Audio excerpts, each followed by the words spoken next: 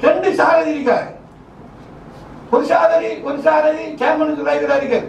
மற்ற சாரதி என்ன எந்த பிக்கப் போடுறாரு எந்த ஆட்டோ போடுறாரு சம்பளம் போகுது. வேற என்ன வேலை வாங்குது?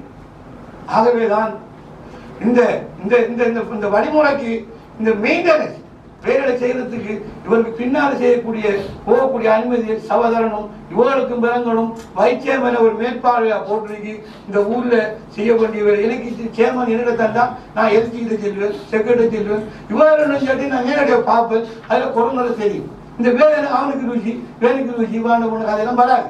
நம்மளோட சபையை நம்ம கௌரவம் நடத்தணும். இவர் நினைச்சுக்கிட்டா காலத்தை வந்து சைன் பண்ணி விட்டு பரதமலைக்கு போய் இந்தியாவில் போய் வந்த உடனே மிஷின் போகுது வேலை நடக்கும் கொஞ்சம் வந்து சம்பளம். மிஷின் எங்க போகுது? எவ்வளோ மூணு போனத்தால தெரியும் பேருக்கு மிஷினுக்கு போனத போனதால தெரியும் பேருக்கு செய்கின்ற வேலைகளுக்கு உதவி மேற்பார்வையாக அல்ல சந்தர்ப்பங்கள் ஏற்படுகின்ற பொழுது அவர்களை பார்வையிட்டு அது இந்த ஊரின் நன்மைகளை செய்வதற்கு அனுமதியை இந்த சபை தர வேண்டும் என்று கூறி இந்த சிட்டியை முடிக்கின்ற நன்றி. அஸ்லாம் வலைக்கம் வரமத்துல்லாஹி வரகாத்து கண்டு வந்துக்கிட்டு கவர்னர் ஒரு அறிவுறுத்தலின் பேர்ல ஜிஏல தலைமையில் ஒரு சப் கமிட்டி ஒன்று போட்டிருக்காங்க. இப்போ நம்மளோட ஊர்லேயும் வந்து எங்கே என்ன பிரச்சனை இருக்கு? என்ன விஷயம் சம்பந்தமான ப்ரொபோசலை நாம ஜிஏக்கு கொடுக்கலாம். இது சம்பந்தமா டிஎஸ் என்ன முடிவு எடுத்து செஞ்சிருக்கேன்னு தெரியா மக்கள் பிரதிநிதியாக இருந்த ரீதியில் நாங்களும் வந்து என்ன பங்களிப்பு செய்யணும்னு சொல்லி அந்த விஷயம் சம்பந்தமாக நம்மளும் எது சம்பந்தமான நம்மளோட ப்ரொபோசல் இருந்தால் ஜிஐக்கு அனுப்பினா எல்லாம் முறை கருத்து பாபா அவர்கள் மற்றும் பாயகீஸ்வர் அவர்களை விழித்தவளாக கௌரவ உறுப்பினர் பாயகீஸ்வர் அவர்களை விழித்தவளாக மற்றும் ஏனைய உறுப்பினர்களை வைத்தவனாக மற்றும் புதிய சபை செயலாளர் அவர்கள் மற்றும் ஊழியர்கள் பார்வையாளர்கள் ஊடகவியலாளர்கள் அனைவரையும் விழித்தவளாக எனது முன்மொழிவை ஆரம்பிக்கின்றேன். மூன்றாவது முன்மொழிவாக ஒரு பொது இடநாடு மற்ற பொது நிறுவனங்கள் கூடிய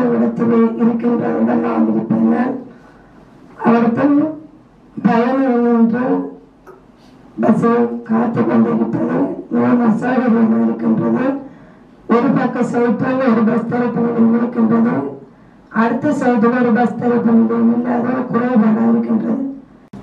மிகவும் அசௌகரியங்களை ஏற்படுத்துகின்றது. அதே நேரம் அஹ், வாகன நெருக்கடி காலங்களில் மற்றும் பொது இடங்கள் செல்ல வருகின்றேன். அதுக்குள்ளே பிரேசியா இருந்ததுக்குள்ள அதை எழுப்பி தரணும் இருபதாவதுல இருக்கிற அநியாயங்கள் எல்லாம் செல்ல போறோம் அதுக்கு தீர்வு எடுத்து தரணும். எவ்வளவு விஷயங்கள். சவ கூட்டம் பாஞ்சு நாளைக்கு வரைக்கும் பிடிக்கும் சவ இன்னும் எவ்வளவு? பாய் சாப்பாடு சாப்பிட்டு போட்டு திருப்பி தொடங்க வரும். வியாபாரம் செய்வர்கள் விரும்புகிறவர்கள் வியாபாரிகள் மாத்திரமல்ல மீன் ஆஹ், அங்கு ஏனைய பொருட்களை வியாபாரம் செய்பவர்களும் அந்த வீதிகளை ஆக்கிரமித்து வியாபாரம் செய்வதால் அந்த பிரதேசத்தில் இருக்கிற மக்கள் தங்களுடைய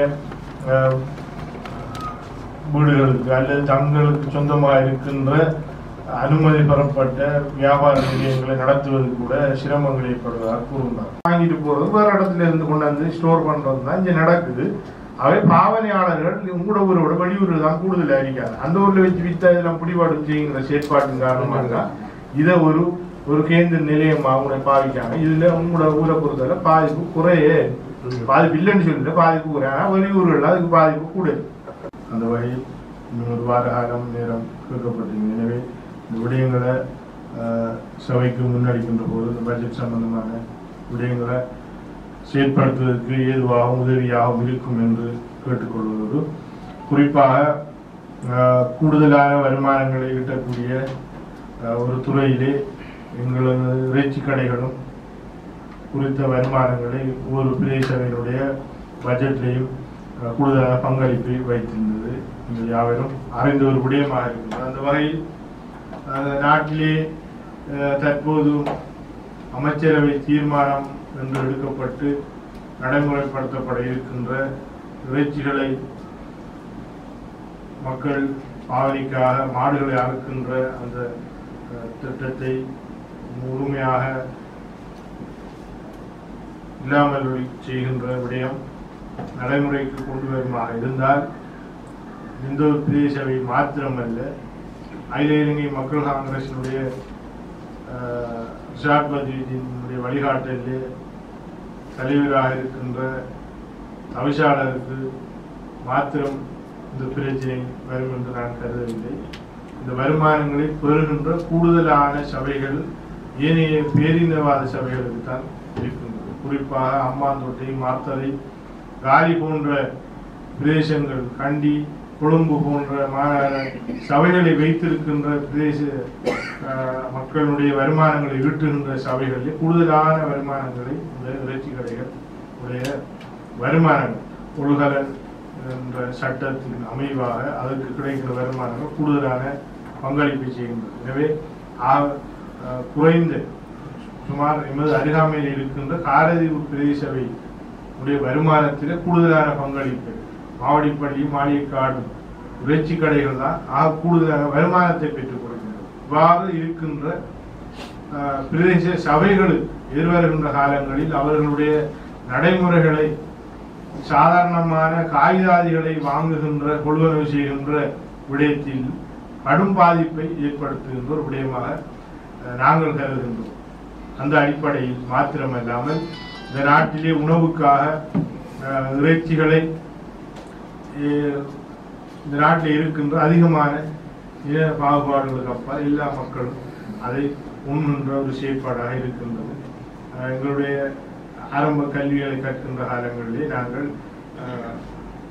மிகவும் உடல்நிலை ஆரோக்கியமாக வைத்திருப்பதற்கு நாங்கள் பால் முட்டை இறைச்சி குறிப்பாக புரதம் சார்ந்த பொருள்களை ஈரல்களை எல்லாம் நாங்கள் உண்ண வேண்டும் என்று பாடசாலையினுடைய கல்வி திட்டங்களில் இருக்கின்றது உயிர்களை கொல்வது என்கின்ற சட்டம் என்று நாங்கள் கருதினால் ஏனைய விலங்குகளையும் அறுப்பதற்கு நாங்கள் ஒரு தடையை ஏற்படுத்த வேண்டிய ஒரு சூழல். எனவே இவ்வாறான பல விடயங்களை நாங்கள் உற்று நோக்குகின்ற போது குறிப்பாக முஸ்லிம் சமூகத்துக்கு எதிராக இந்த மக்கள் தான் இறைச்சியை உண்கின்றார்கள் என்ற விடயத்தை மாத்திரம் பார்ப்பதா?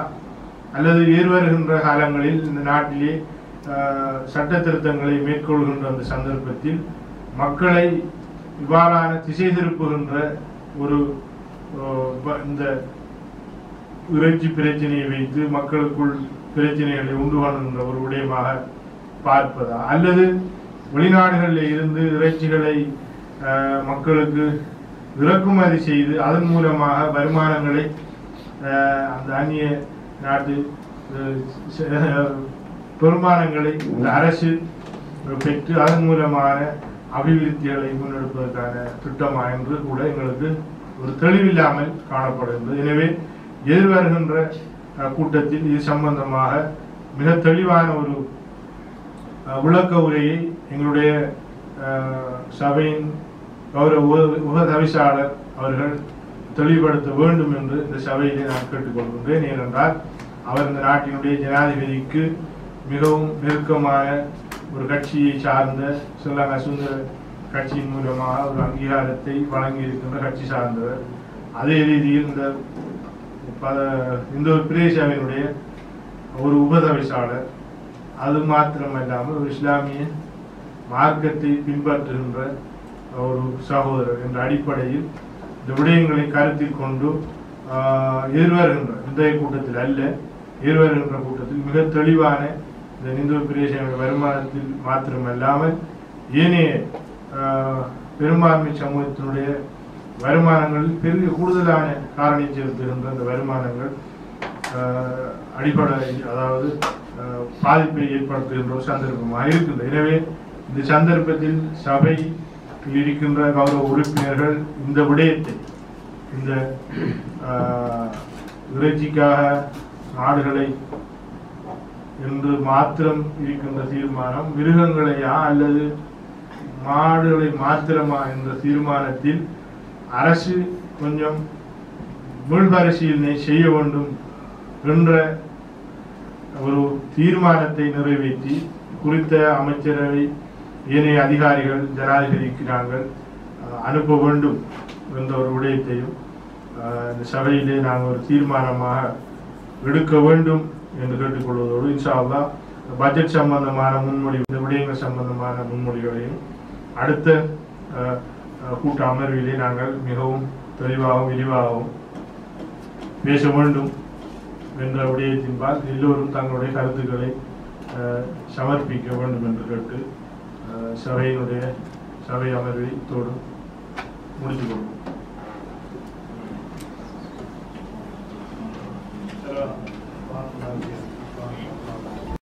பொம்மன்ட்டு சொல்லல சரியா பொம்மன்ட்டு சொல்லல நீங்க நான் பொம்மையா வந்து இருந்து ஒரு போய்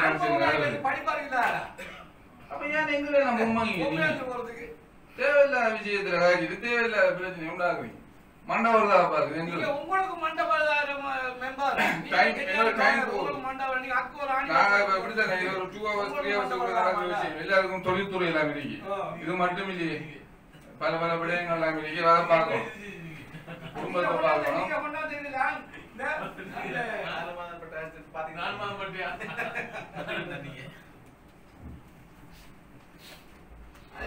LDO சம்பந்தமான இதுல கொண்டாந்து நான் ஜெயபூமி சுவர்ண பூமி பூமின்னு சொல்லி மூணு இருக்குன்னு சொல்லாம சும்மா பிரிக்கணும் உறுதி LDO சும்மா. இப்படி மூணு என்னன்னா அரசாங்க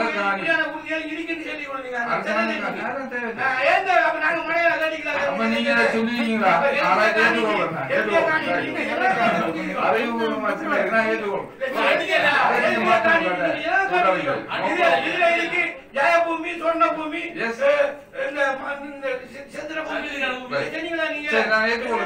திருத்தினதுக்கு சந்தோஷம். உங்களுக்கு இத- இது இங்க அப்ப நீங்க- நீங்க நல்லம்னா நல்லதுதான் நம்மள. நல்லம்னா நல்லதுதான். நம்மள கருத்து. உண்மையை தான் சொல்லணும். அது இல்ல, செம்ம. இப்ப என்ன இருந்துச்சுன்னா, இப்ப இந்த நேரத்துல இந்தியா இருக்கு, அமெரிக்கா இருக்கு, பாகிஸ்தான் இருக்கு, சொல்றாரு. அவருக்கு என்ன ஜெயபூமிக்கு சொல்ற கருத்து தான் இது. உலக நாடுகள்டா எல்லா நாடுகளும் சேர்ந்து அரசால நன்கொடையாக வழங்கப்பட்ட காணிகள்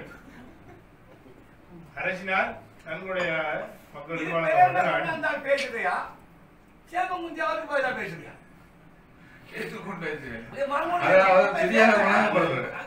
தெளிவுசுழி ஏற்றுக்கொண்ட வந்தா விடயத்தை தெளிவுபடுத்துறேன். கொஞ்சம் கொஞ்சம்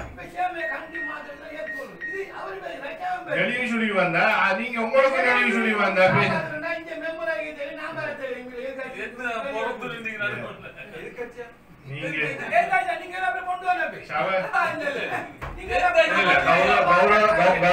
உதவி தவிசாளர் நீங்க அப்படி சொல்லப்படாது இல்ல இல்ல நான் நீங்க ஆளுங்கட்சியில வந்துகிட்டு உதவி தவிசாளர் நீங்க உதவி தவிசாளர் நாங்க எதிர்கட்சியாக ராஜபக்ச ஃபேமிலியோட கிட்டத்தட்ட 25 வருஷம் நான் ராஜபக்ச ஃபேமிலியோட தான் இருக்கேன் இன்றைக்கு. அது யார் மாட்டேங்க அல்லாஹ் மட்டும்தான் அல்லாஹ் கரீம். அல்லாஹ் மட்டும்தான் இல்லை தாங்க எங்களுக்கு யாருக்கு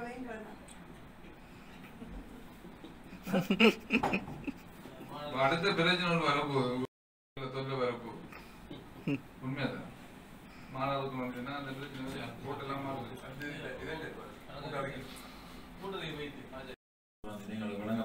சொன்ன அவர் அதிகாரத்துக்கு அவர் செய்யலாம்னு சொல்லி சவ தீர்மானங்கிறதுக்கு அப்பால் அவர் செய்யறதுக்கு அதிகாரம் இருக்கணும் நம்ம இந்த சவ தீர்மானத்தை பத்தி கழிச்சு பிரயோஜனம் இல்லை சேமன். அப்பதான். அதாவது அது சொல்றாரு சேமன் சொல்றது அவருக்கு அதிகாரம் இருக்குது பேங்க் ராஜாக்களே இப்படி தீர்மானம் முடிச்சுக்காரு. இது அப்பா கிட்ட இருக்கிற மகன் இருக்கிற அடியே சேர்த்து கணக்கறிக்கையை சமர்ப்பிப்பது என்பது கடந்த மாதத்துகளில் கணக்கறிக்கை உங்களுக்கு காட்டுறது நோக்கம் என்னென்னா இதுல உங்களுக்கு எதுவும் ஐயப்பாடு இருந்தா ஒன்றும் இல்லையாங்கிற விஷயம்.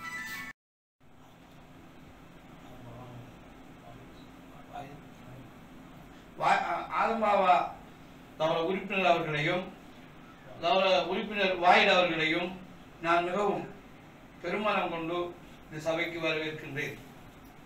என்னென்னு சொன்னால் கடந்த பிரதேச சபை அமர்விலே இந்த பதவிகளை வகுத்த உறுப்பினராக வகுத்த சம்ரிதியின் அவர்களும் அவர் உறுப்பினர் மஜித் அவர்களும் விடைபெற்று சென்ற நேரம் அவர்களை நாங்கள் வாழ்த்தி அனுப்பியிருந்தோம். இன்று அவர்களுக்கு பதிலாக சமூகம் கொடுத்து கௌரவ உறுப்பினர்களோடு சேர்ந்து எதிர்காலத்திலே தங்களுடைய இந்த கௌரவ உறுப்பினர் பதவியை வழிநடத்துவதற்காக சமம் கொடுத்திருக்கின்றமையை நான் கருத்தில் கொண்டு அவர்களுக்கும் எனது வாழ்த்தி வரவேற்று அவர்களுடைய அன்புகள் இந்த நன்றியை தெரிந்து கொண்டேன் நான் ஒரு ஸ்ரீலங்கா சுதந்திர கட்சியின் ஆதரவாளர் என்ற வகையில் உப தவிசாளர் என்ற வகையிலும் அவரை நான் மனம் மனம் கொண்டு வர வைக்கின்றேன் முதலாவதாக இரண்டாம் வட்டாரத்தின் வடிகான்கள் துப்புரவு செய்தல் தொடர்பாக. இந்த சந்தர்ப்பத்தில் இரண்டாம் வட்டாரம் என்பது இனிமேல் நான் மட்டுமல்ல கௌரவ உறுப்பினர் ஆதம்பாவார்களும் இருக்கின்றார்கள். அவரால் முடியுமான வரை இந்த வட்டாரத்துக்கு செய்ய முடியுமான வேலையை செய்து கொள்ள வேண்டும் என்று நான் இந்த சந்தர்ப்பத்தில் அவரை கேட்டுக்கொள்கின்றேன். எட்டாம் ஆண்டு. மூன்று ஆண்டுகள் மூன்று முறையான ஆண்டுகள் என்னை கௌரவ உறுப்பினராக தெரிவு செய்திருக்கின்றது. இந்த வட்டாரத்திலே இருக்கின்ற குறைபாடுகளை நான் இந்த சந்தர்ப்பத்தில் கூறி வைக்க வேண்டும். அதனுடைய வட்டாரத்தின் ஒரு உறுப்பினராக வந்திருக்கின்ற ஆலம்பா அவர்களும் கருத்தில் கொள்ள வேண்டும். ஏனென்று சொன்னால் எனது வட்டாரத்திலே இருக்கின்ற வடிகான்கள் எப்பொழுதும் எந்த வருடத்திலும் துப்புரவு செய்யப்படவில்லை என்பதை நான் தெளிவுபடுத்த விரும்புகின்றேன். கடந்த மூன்று வருட காலங்களாக வீடாநகர் வட்டாரம் எவ்வாறு துப்புரவு செய்யப்பட்டு கொண்டிருக்கின்றது என்பதை என்னால் அறிந்தும் அறியாமலும் இருக்கின்றது. முறையிலே பணம் வங்கியில் இருந்து எழுப்புவது தொடர்பான விஷயத்தை நான் குறிப்பிட்டிருந்தேன். அவருடைய தவிசாளர் அவர்கள் அவர் பாராளுமன்ற தேர்தல் கேட்பதற்கு முதல் நான் எந்த நேரமும் வாகனம் கேட்டாலும் இந்த ஊரின் நன்மைக்காக தந்த வரலாறு இருக்கின்றது. தேர்தல் காலங்களுக்கு பிறகு நான் அந்த வாகனத்தை கேட்பதில்லை. அந்த இந்த இணை செல்கின்ற எங்களுடைய மகேந்திரா பிக்கப் வந்தால் தேவைகளுக்கு நாங்கள் பாவித்துக் கொள்வோம் என்ற அந்த மன உறுதியோடு இருந்த பொழுது அந்த பிக்கப் இந்த இடத்துக்கு வந்து மீண்டும் அந்த பிக்கப் அங்கே போயிருக்கின்றது. என்னன்னு கேட்டால் செயலாளர் கூறினாராம் இந்த பிக்கப் இங்கே இருந்தால் நாங்கள் ரனிசாட் எழுத வேண்டும். அப்படி இல்லாவிட்டால் அந்த பிக்கப் இறைச்சிக்குள்ளே கிடந்தா எங்களுக்கு எந்த கேள்வி ரனிசாட் எழுவதா இருந்தால் ஏசிஎல்சி சிஎல்சி அனுமதி பெற வேண்டும் என்று. மிகவும் மனவேதையா இருக்கிறது. ஒரு மணித்தியாலம் நீங்க கதைத்தது ஒரு நாளுக்குள்ள செய்ய வேண்டிய வேலை இந்த ஏசிஎஸ்சி சிஎஸ்சி அனுமதியை பெற்று வருவதற்கு. என்ன பொறுத்தவரை ஆகவே அதை செய்யாமல் என்னுடைய விழுப்புமாக செல்லாமல் மீண்டும் அந்த மகேந்திராவை அந்த கருத்துக்கு அனுப்பியிருக்கின்றனர் இந்த ஊரில் இருக்கின்ற வாகன சொந்தக்காரர்கள் வாகனம் எத்தனை ஊர் மக்கள் வந்து பார்த்து கொண்டிருக்கிறார்கள் எந்தெந்த பிரதேச ஜிப்பாக போனது திருப்பி வந்து ஏன் கிடக்கின்றது அவன் ஆயிரம் ஆயிரம் கதை சொல்லுகின்றான். கேவலம் அந்த கிரத்தி நடத்துற கிரத்தி உரிமையாளர் இந்த சபையை பற்றி ஆயிரம் கதை சொல்லியிருந்தான். நான் வேலையை முடித்து விட்டேன். காசு தரவில்லை. கேட்டார் சிஎல்சி ஏசிஎல்சி கமிஷனர் ரிப்போர்ட் வரணும் அதுக்காக நான் போட்டு வச்சுக்கன்னு சொல்லி. மன வேதனை அது.